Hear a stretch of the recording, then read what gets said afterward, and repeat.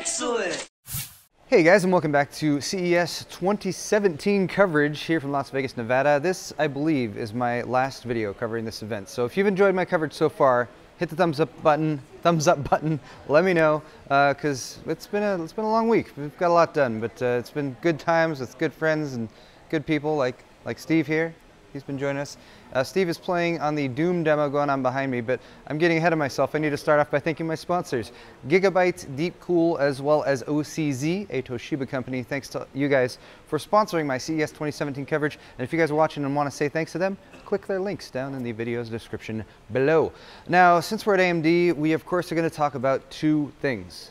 Zen now known as Ryzen, if you're looking at the chips that's actually going to be sold to people, and Vega. And start, let's start with Vega, why don't we, since uh, they're actually showing off this demo finally. What Steve is doing is playing Doom in 4K. It's running on the Vulkan API, and he's doing so with a Ryzen CPU, the 8-core 16-thread chip that they've already been talking about and teasing and showing some performance of, and a Vega graphics card. So based on the Vega architecture, we know nothing beyond that as far as additional specs. There is some information that has just recently launched uh, about Vega and um, it's really a little bit too much for me to dive into for this type of video, but let's just say there's a lot of excitement around it, uh, but we don't, we still don't know when it's gonna come out. Um, but we at least know that it works. This system is like completely enclosed and taped off. There's a little bit of fan intake at the front, but um, as a result, they have the fan on the actual GPU in there running at 100%, but it's managing to hit 60 to 70, sometimes upwards of 70 frames per second at 4K. Uh, and that's pretty insane because Doom is a challenging game to run, even if you're using the Vulkan API. And it's good to know that we already have live demos of Vega achieving this type of performance in this type of game. So it's going to be an excellent successor to Polaris, we already know, but more information hopefully will be coming out soon from AMD, like pricing and availability and when it's going to come out and what types of chips are based on it and stuff. But uh, let's move on because uh, we have more Ryzen stuff too. We actually have AM4 motherboards. Look guys, actual AM4 motherboards. Um, I believe these are going to be close to the finished product, but there might still be some changes going on. And I'm starting off over on this window because these are motherboards that uh, are maybe from vendors that are a little bit less common or maybe you haven't heard quite as much from before. Uh, Biostar you've probably heard of. Uh, they're around in the US, although not quite as well known as say MSI or Asus or Gigabytes. But uh, they have a couple boards here. They look like they're going with a racing theme. Um, but you can see some of the information about AM4 just by looking at it. Of course, the socket itself right up there. And what we now know about the AM4 socket, it is you are going to need uh, to potentially upgrade your CPU cooler if you go for this, if you want to try to use one, one of your older coolers. Now the good news is if you're using one of the typical AMD coolers that uses the latches or the little clips uh, the catches that are on the top and bottom there, you can still reuse that. So the stock ones will still work.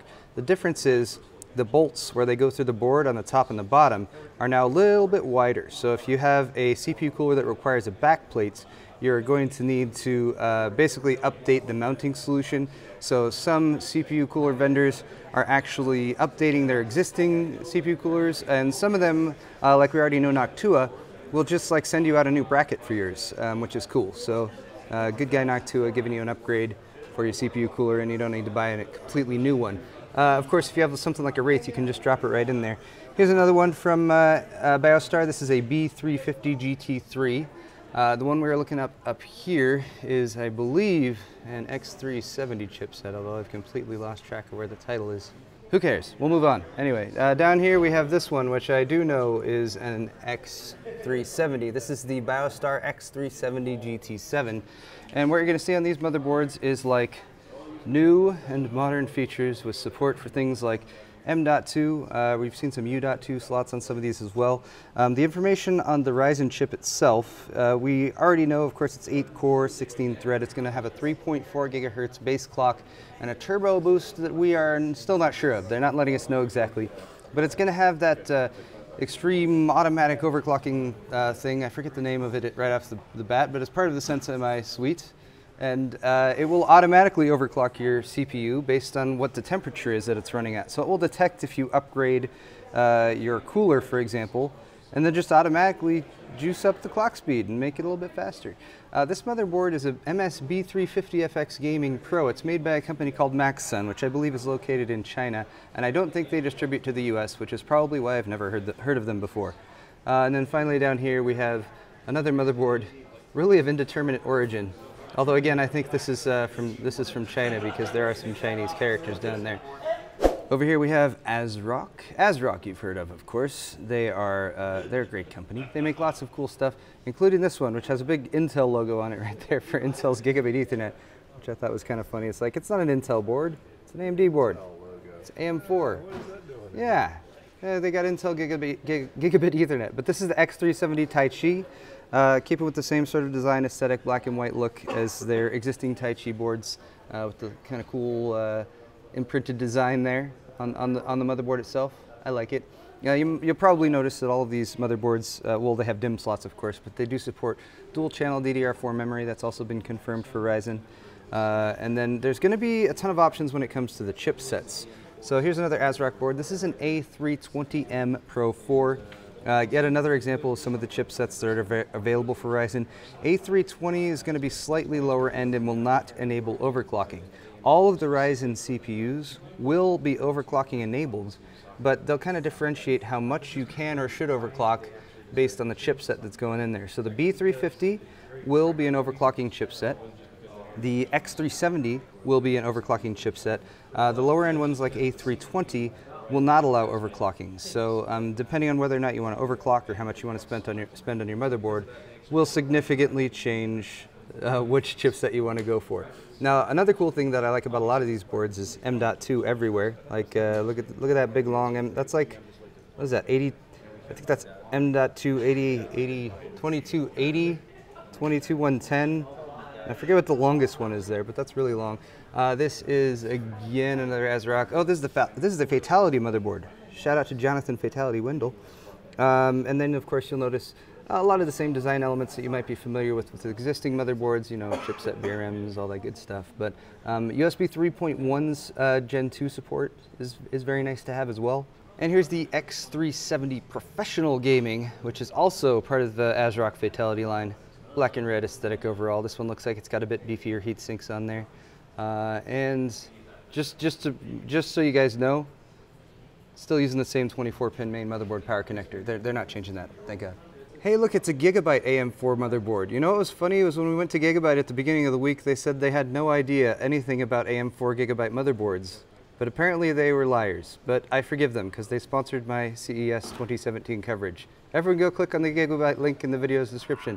All right, this is the, uh, what, what is this called? The uh, GAAB350 Gaming 3. I'm going to shorten that to B350 Gaming 3 just to be more simple. So Gaming 3 means this would be a little bit more on the budget side.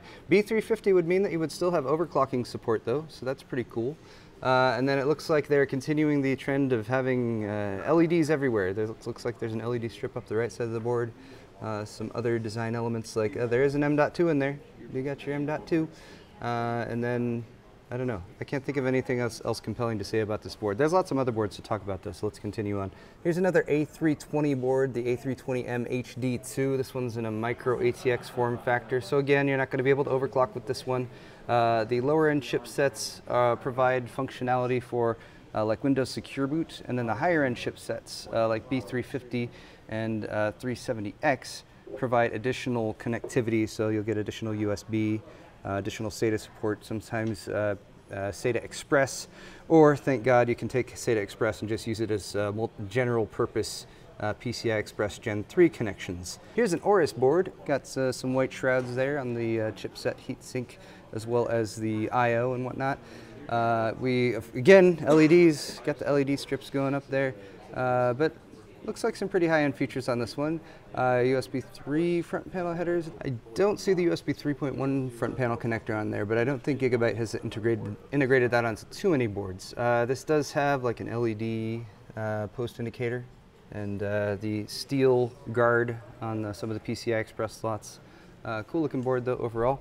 And then I think this one is, uh, is the nicest looking one in my personal opinion.